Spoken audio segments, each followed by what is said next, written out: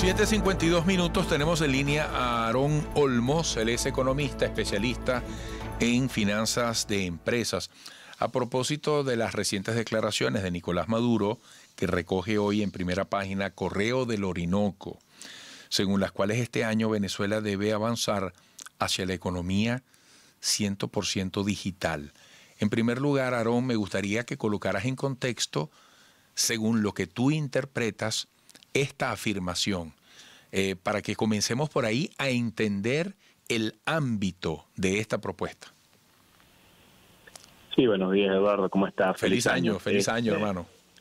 Fíjate, básicamente eh, lo que se propone es algo que en parte, bueno, ya está pasando en Venezuela, ¿no? Eh, el hecho de dejar de utilizar efectivo de manera física, quizás ya más asumiéndolo por parte del Ejecutivo como parte de algún plan que forme parte de la estructura económica que han propuesto teoría para esta nueva avanzada que todos los años se ha repetido, pero que en definitiva pareciera que este año quisieran hacerlo más por la vía de la tecnología, ¿no?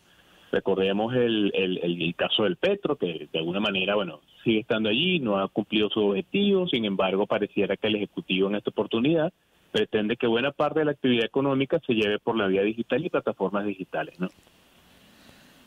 Es decir, que una, un primer nivel de comprensión de este anuncio es que estaría eh, previsto uh, la eliminación progresiva del uso del efectivo, así de tajante, porque hay que entender que la economía en el manejo de la moneda está en situación de precariedad eh, y sabemos que por, por vía espontánea, por vía de la fuerza de la realidad, la gente ha tenido que ir prescindiendo hasta donde es posible del efectivo en cuanto a nuestra moneda nacional.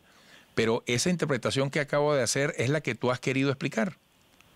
Sí, fíjate, en parte lo que está pasando, y hay que recordarlo aquí muy bien, en el caso nuestro en Venezuela, eh, el uso del dinero en efectivo ha comenzado a, eh, cesar, no tanto por un tema de innovación, sino por una, situación de economía. Recordemos que a partir del año 2015 en Venezuela comenzaron los problemas de eh, disposición de dinero en efectivo, limitaciones por parte de la banca para el uso del de, propio Bolívar, recordemos las dos reconversiones, recordemos la hiperinflación.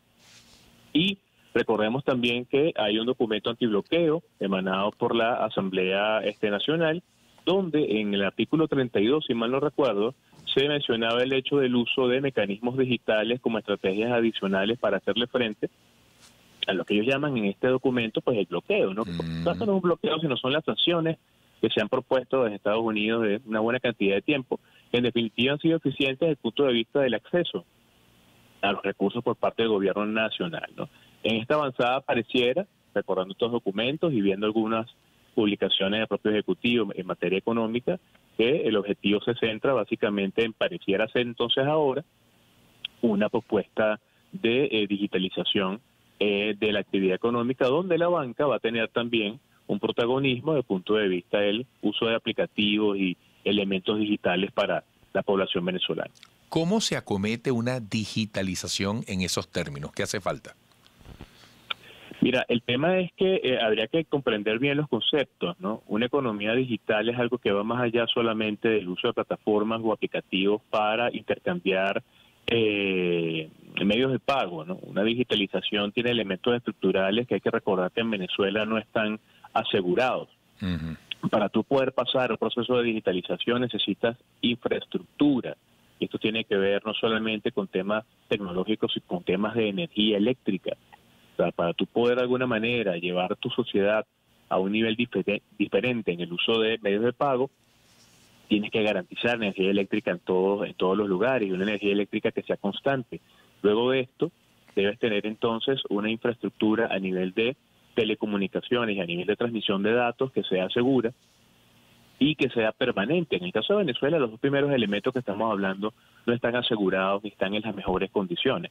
Entonces, eh, bueno, a algunos quizás este nos parece un tanto extraño el hecho de eh, asumir que el año 2021 va a comenzar con, con esta avanzada, cuando los elementos estructurales no están presentes. Y lo otro es el tema de formación en el uso y la comprensión de los elementos digitales dentro de la vida cotidiana ¿no? de todos los venezolanos. Si bien ya nosotros hemos estado utilizando medios de pago digitales, pago móvil, aplicaciones, conexiones con la banca digital y sobre todo el tema de eh, el uso del dinero digital, bien sea eh, bolívares o eh, moneda dura, sumando el tema de las criptomonedas, que también es totalmente digital, no es algo que está total y absolutamente avanzado o que esté tan presente en la vida de todos los venezolanos como quizás el Ejecutivo pretende. Ya. Bueno, me queda un minuto. Eh, Aarón, te agradezco mucho, te deseo un feliz año, qué interesante, definitivamente esto amerita más tiempo para ir en profundidad a todo lo que cabe en este tema de la posible digitalización de nuestra economía. Te agradezco mucho, Aarón, mucho éxito. No, siempre de orden, Eduardo, como siempre por acá de este lado, bueno, y, lo, mejor para este año 2021 para todos. Amén, igualmente. Aarón Olmos, economista especialista en finanzas de empresas, sobre este interesante tema, amigos.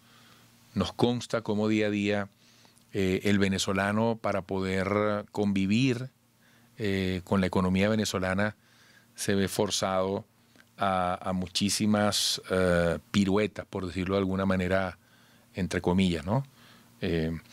bueno, quiero despedirme agradecido una vez más en nombre de todo nuestro equipo por este reencuentro, este primer programa de 2021, hoy 4 de enero, cuando estamos comenzando, mañana estaremos muy atentos en el abordaje, en el cubrimiento de las incidencias alrededor de la juramentación de la nueva Asamblea Nacional. Así que recuerden que ustedes en, sintonía de nosotros van a estar al tanto de todo lo que ocurre en Venezuela y en el mundo. Que pasen un feliz día. Hasta mañana.